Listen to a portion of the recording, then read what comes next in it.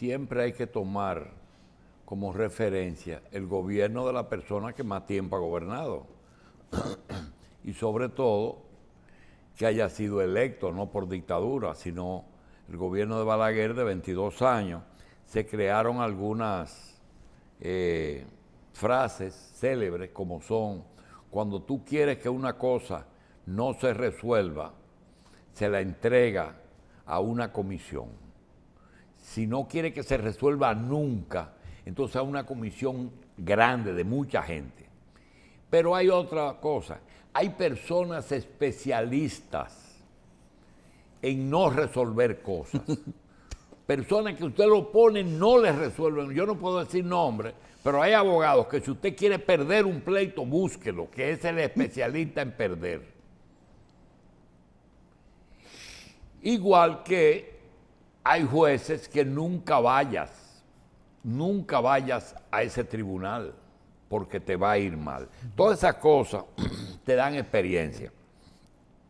Y una es que cuando los gobiernos surgen, generalmente los sectores de poder que quieren conservar poder, aumentar poder o destruir competencia, se acercan a los políticos. Y los políticos generalmente tratan de conocer cuál es la razón por la que ellos le aportan dinero. Conversan, ¿qué tú quieres? hay uno que yo conozco. Lo único que quiero es que usted gane y que le dé a todo el mundo y a mi competencia las mismas oportunidades, que no nos dé privilegio a ninguno. Eso lo oí yo que se lo dijo un empresario a un director de aduana, a uno que iba a ser director de aduana. Hay otros que dicen, yo quiero que en tal renglón usted me permita traer mis mercancías por Jaina Oriental o por Arroyo Barril o que me ponga un eh, colector en el aeropuerto de las Américas y piden específicamente un funcionario para ellos hacer sus operaciones. Eso pasa aquí, ¿eh? Pero también dice, yo quiero un director de impuestos sobre la renta. Yo quiero un director de aduanas que sea fulano. Y lo peor es, yo quiero un director de la DNCD. Yo quiero un director de la DNCD, porque resulta que en la DNCD se manejan dos cosas. La protección al sector que ha aportado dinero, pero también la destrucción de la competencia. Ustedes ven a veces cuando hay demasiada información, eso es producto de que un cártel da toda la información del otro para destruirlo. Todo eso pasa, pero tenemos que saberlo, tenemos que saberlo. Por eso es que en el caso de, de los del amatrellamiento de esos muchachos, de esos jóvenes, el que, el que trabaja en eso sabe bien que eso fue eso y que no sé por qué no mataron al otro muchacho, porque a lo mejor al carro fue uno solo de la patrulla. Si hubieran ido dos o tres, dice, no, no, no lo puede dejar.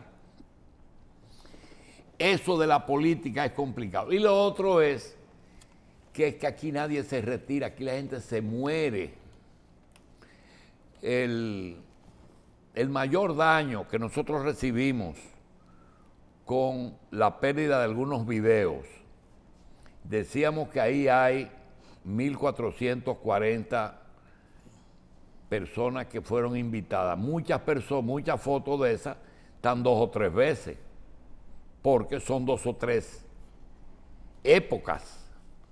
Mira, por ejemplo, tú tienes, déjame ver, espérate. Tomás Hernández Alberto, Ginebra, Generoso Ledesma. Ah, mira, Francisco Javier cuando traía los videos de Lionel en el 96.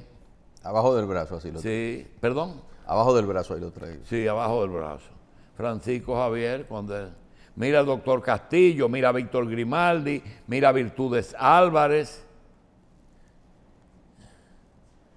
mira Dionisio Sordevila, fallecido, el tendón de Sordevila. y así, a ver si- Mira, Me- Melanio. Mira a Rodríguez Chiapini. eh, sí. de- mira a Ángel Locuar, Ángel Locuar, de la Universidad Mundial. CETEC era la universidad. CETEC.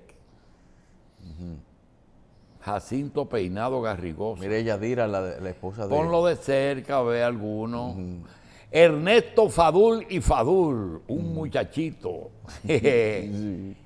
ya ten- nada más tenía cinco años que había llegado de España. Tenía un compañero apellido Abinader allá. Ok. Eh,